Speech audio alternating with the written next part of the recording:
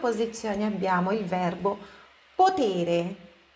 Em quinto lugar, entre os verbos mais usados, nós temos o verbo potere, que é poder.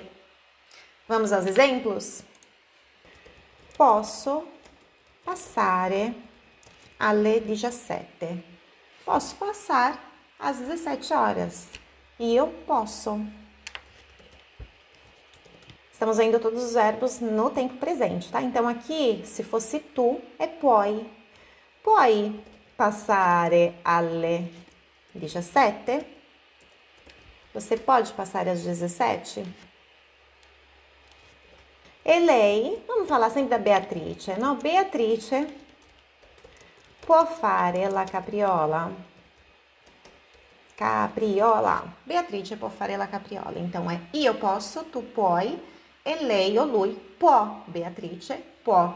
Può fare la capriola, ela pode fazer é, dar cambalhota. Capriola é cambalhota.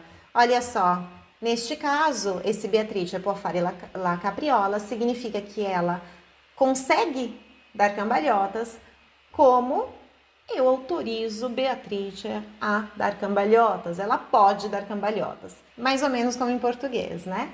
Então, in quinta posizione abbiamo visto il verbo potere, tra i verbi più utilizzati in italiano.